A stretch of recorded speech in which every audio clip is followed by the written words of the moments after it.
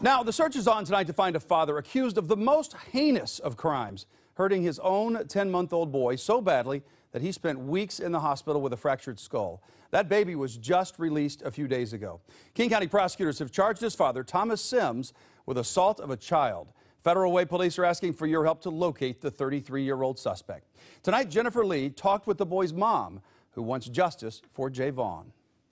When I look at him, he looks like the same baby. It, I can just tell that he doesn't have that spark that he used to. This little guy is JeVaun Sims. He could have died. It makes me very sad because he shouldn't have to go through this. Police say his own father lashed out in anger and violently assaulted him on August 25th. I stood up to go um, check on JeVaun and I heard a big scream. His mom says her son was limp and unconscious. Somebody who in the past has been violent with me, I never thought would be violent with their own son. JeVaun suffered a fractured skull and bleeding in his brain. Doctors tell the mom her boy's injuries were no accident. It was blunt force trauma to the head. JeVaun spent weeks in ICU recovering from two brain surgeries.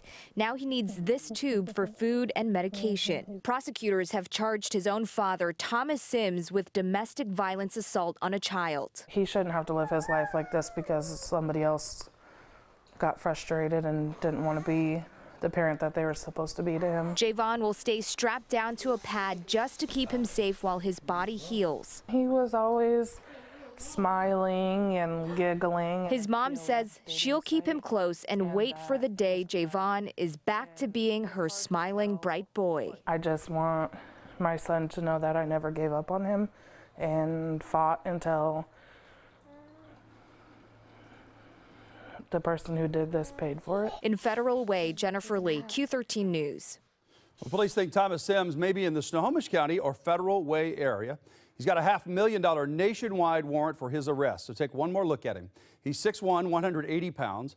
He takes Lyft or a bus to get around. He does not have a car. He often wears black rimmed glasses, is a frequent visitor to marijuana shops, and always matches his shoes to his tops. If you spot him, call 911.